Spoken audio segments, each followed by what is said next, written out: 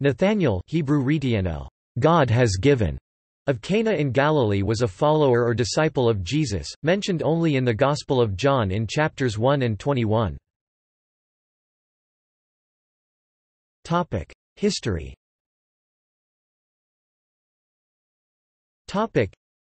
In the Gospel of John, Nathanael is introduced as a friend of Philip, from Bethsaida.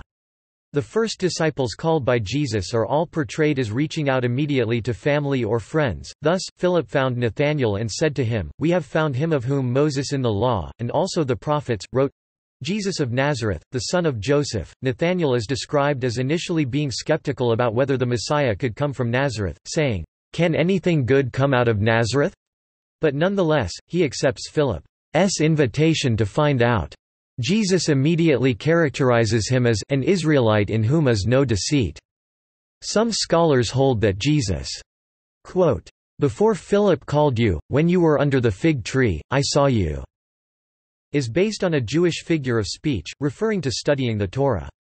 Nathanael recognizes Jesus as the Son of God and the King of Israel.